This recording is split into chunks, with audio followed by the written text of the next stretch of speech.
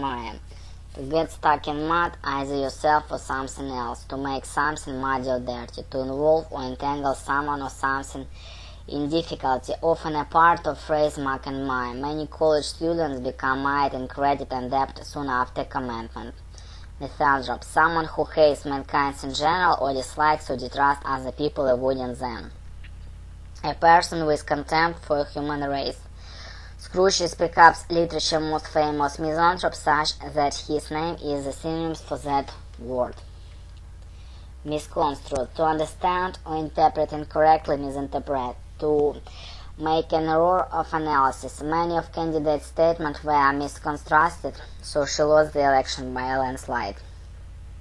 A mishmash, a disorderly collection or confused mixture of things, a jumble. Not to be confused with mismatch, which means apparent combination of people, things that are not incapable or ill-suiting. When young children dress themselves, parents are not surprised to find the shoes a mishmash of colors and styles. Misogyny, hatred of movement, a bitter contempt for all women. Trying to drown his sorrows after breaking up with his girlfriend, James initiated a ranting sounded like misogyny. Mitigate, to make an offense or crime less serious or more excusable, to lessen harshness, severity, violence, impact, or degree. By certain state evidence or testifying against the suspected embezzlers, Mark hoped to mitigate his own guilt and contribution to the shady business deal.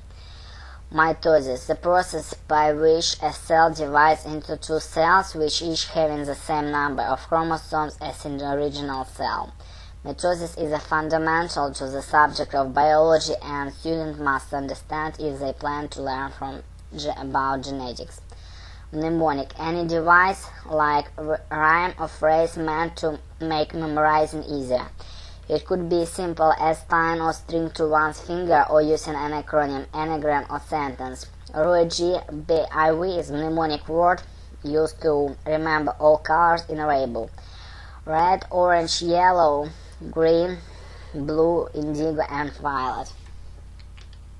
Modicum. A small amount, especially of something abstract such as quality or characteristic.